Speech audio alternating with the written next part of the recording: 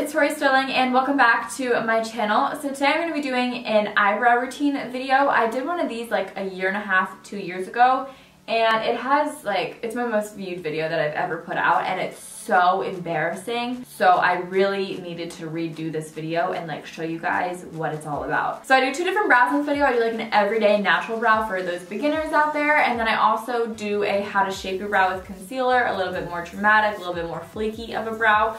So you guys can choose from whichever one you want. Right now I'm wearing like both the fleeky brows, but in the video you guys will see that I have a natural brow on my right eye and then the fleeky brow on my left eye. In my last eyebrow video, I go much more in depth about like cutting your eyebrows and kind of like how to shape them at home. So if you guys are interested in that, it's up on the screen right now and you guys can go watch that and then come back and watch this video on how to fill them in. I do talk about how to shape them with like makeup and concealer and stuff like that, but in terms of like tweezing, um, cutting your brows, everything like that, that's in my other videos. Go check that out there if you guys want that. I really wanted this to just be more of like a how you use it with product and makeup and like what I use and stuff like that. If you guys are new here, be sure to subscribe to my channel. I have a ton of videos that I know you guys will absolutely love. I do a lot of makeup on here. Um, so yeah, subscribe, join the fam. It's a fun time and I upload all the time. Literally ask anyone that is subscribed, I upload all the time. So yeah, without any further ado, let's get on to the video. So when it comes down to products, I know a lot of people love using powders, eyeshadows, pencils, stuff like that. And I actually like to use a pencil, a shadow, and a gel. Sometimes the gel is optional, but I do like to include it. But today I'm using the Brow Wiz, which is different than the Brow Pencil and the Brow Definer. And then I'm also gonna be using the brow powder. So I'm gonna do the natural brow on this eyebrow and then the more dramatic brow on this one. So first thing I do is I go in with the Brow Wiz and like I said, this is in the shade taupe, this has the pencil and then the spoolie. So first things first, I always comb the brow. I comb it going up and then I comb the tail down and right around the arch down. I try and comb the arch up as much as possible to match this one because mine are two completely different shapes. So then what I do is I take the pencil side and I go right underneath the brow and I underline it And I just do small little strokes like this because if I were to do like one long stroke, it could get a little too fake looking, a little too quick.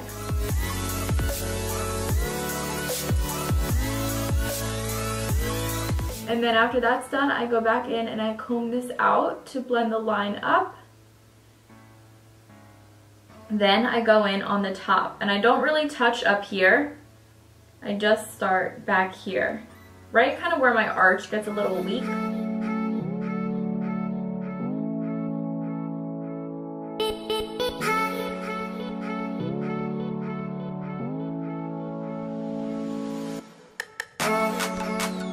Okay, so I don't really like to use pencil like in my brows because I just think it makes it look kind of, I don't know, messy. It just isn't a cute look in my brows. So I like to take the front and just sort of flick where I have these sparse little brows to fill this area in.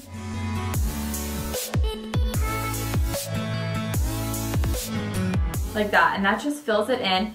Sometimes I get a little too heavy up top, and all I have to do is go in and kind of move my finger around, and it disperses it. So then I go in with the Brow Powder by Anastasia. This is also in the shade taupe, so it matches the brow pencil. And the best brush that I've ever found to use with brow powders has been the Kylie Cosmetics brush that she sells with her Kyliners. These are so good. I love them. So first off, I take the darker shade and I put this in the back of the brow. So I start right up here on the arch because you can definitely tell that it's lighter right here So I just take this lighter part of my arch.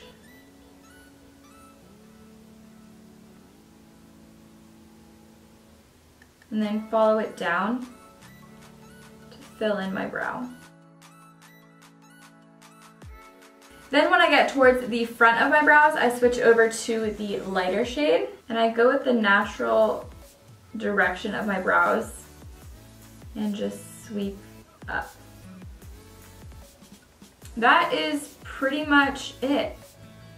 That's how I do the brow. And then if for whatever reason it gets a little bit too dark, this is a pretty good color today, but let's say like I was a little too heavy-handed. That's when I go in with the Benefit Gimme Brow in number one. And I first start out here on the arch. Sometimes it can have a little bit of product buildup and I don't want that product buildup in the front. I pretty much just brush my brows like how I have been this entire time and then slowly build it up to the front. I don't really touch the front just because the front is light to begin with, but that just lightens them up a little tiny bit. But there you go, that is your natural brow. Now let's move on to your bolder, more fleeky brow. I kind of do this a little bit backwards and I find that it works best for me. So since my brows are two completely different shapes, I like to kind of make this one match this one and I like to make this one match this one. So first thing that I do is I comb my brows how they naturally go. Instead of going right in with the brow powder, I outline my brows first. Now I know this is like super sort of backwards, but it really helps a lot and I like it more than going back in afterwards to define your eye. So take any concealer that you guys want. And I start right underneath where I want my brow to be underlined. Pretty much doing the same thing as over here, but with concealer this time. And then, I don't know if you guys can tell, but my brow has a pretty dramatic arch right here, and this one is much more gradual. So I'm gonna follow the outline of this one, and instead of following this naturally and going up, I'm gonna kind of fake it.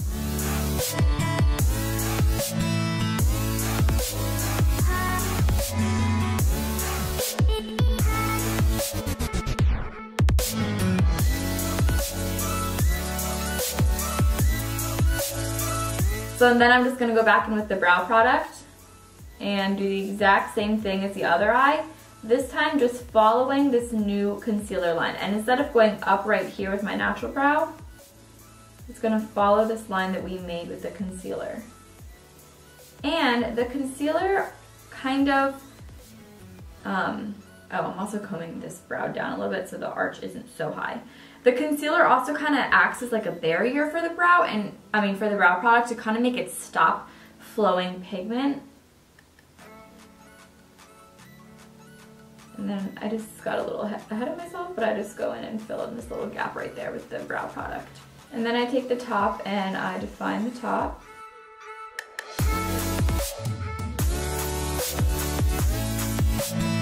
Okay, this is where we're at. We're looking good. Then I go in and I fill in the front. Then I do the same thing as the other brow. I'm gonna go in with the brow powder and take the darker shade for the outer half of my brow. And I make sure to really get this little fake brow that we're making right here. Just so it blends in with my real brow. Then I switch over to the lighter shade and start on the front. Finally, to finish it off, I go in with the brow, Ka-Brow, Gimme Brow, whatever we're calling it, it's Gimme Brow. I don't know why I can't remember the name. And then there it is. So, thank you guys so much for watching. I really hope you guys all did enjoy this video. If you guys want to see my last brow routine, it is right here. And then if you guys want to see a little something extra special for you guys, like a more recent video of mine, I have that right here for you guys. So thank you guys again so much for watching. I really hope you guys all enjoyed it, and I'll talk to you in my next video. Bye!